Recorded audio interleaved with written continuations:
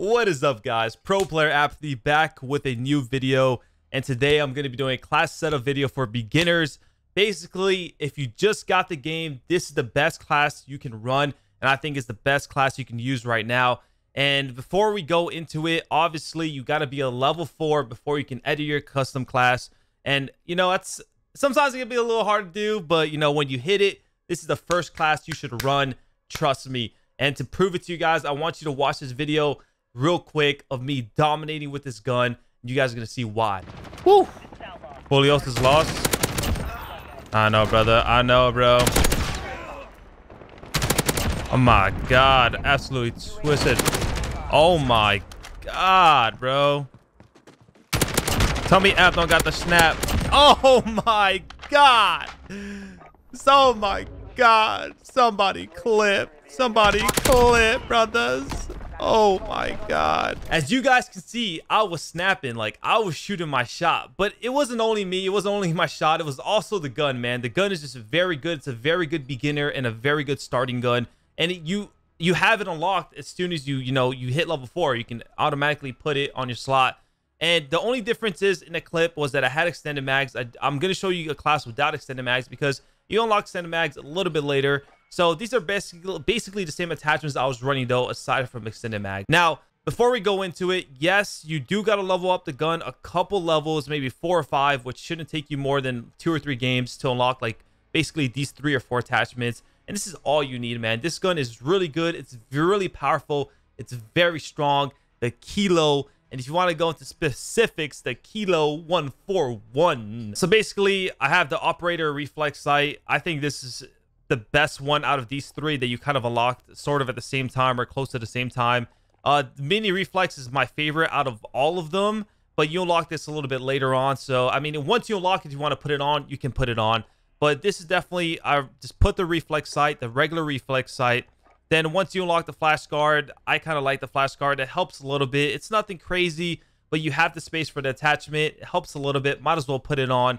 Then, of course, you got the stock just basically it's basically stock aim walking movement speed uh, you know, allows you to move around and aim in a little faster, gives you that little strafe uh, advantage. And for the last thing, it's the Commando Foregrip, and it's the first thing you get here, and it's recoil and aiming stability. You know, it's very, very helpful. And yeah, you lose a little movement speed, but in the end of the day, man, you're you're an AR and it's a very dominant AR. So the reason I really like this gun is one, you don't really need any crazy attachments for the gun to be very effective, and it's such a good beginning beginner gun due to that. Also, you can kind of run and gun with this gun. Like it's sort of like a AR slash sub in my opinion. Like if you watch the clip, you know, I was literally just running like gunning people and just moving around like snapping on them. And it's just very good. It's a strong overall, just very powerful gun. And you start with it. So why wouldn't you want to use it? Then next I'm rocking the X16 pistol doesn't really matter what pistol you're running because you're not gonna be touching that. You don't need that thing. You don't need that thing. You just need you just need a kilo. And then for my perks, I'm running double time. I feel like double time is really effective. Just having being able to do that double sprint, the tactical sprint, a lot more and for a longer duration is just awesome. It's so good in my opinion, and I love using it. Then I got hardline. It's probably the best perk you can use out of the the lower ones than like the ones you start with. Because usually I think you start with only two perks each. So I think I think double time is the best. EOD can help, but I think double time is just way better. Um, hardline over restock, 100%. Who cares about recharge equipment? You know, getting that one less kill for like a streak or like UAV or whatever, like that can be really helpful. Personal radar. So, you know, you just get like two kills and you already have it. Then for the last thing, I'm running tune up. Now, this is really good for a field upgrade. Uh, you know, basically charges it a little bit faster. And I feel like it's really effective. Maybe not for the ammo box, uh, but you know, you unlock Dead Silence at level 10. Now that's a little bit higher level, but it doesn't take too long to get level 10.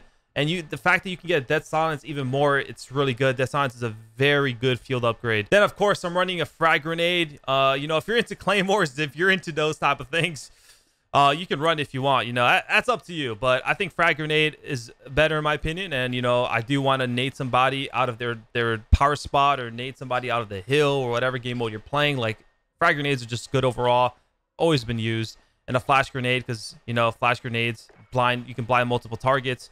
You don't necessarily have to hit them. You can hit in the radius. Stuns are actually pretty good though. So it really, this is just whatever you want, man. If you're if you're into stun grenades, I'm not sure what level you unlock stun grenades, but I know you start with start with a flash grenade, so you might as well use a flash uh, flash grenade. But if you start also kind of close uh, early levels of stun grenade or you start with a stun grenade, then you it's really up to you, man. I hope you guys enjoyed this video. Just a very nice, short, sweet, awesome video for you guys. Just a little tip, you know, class setup for beginners, especially if you're just starting, if you just got the game, or you know you're kind of you don't know what class to run, what's the best gun, especially at the beginning.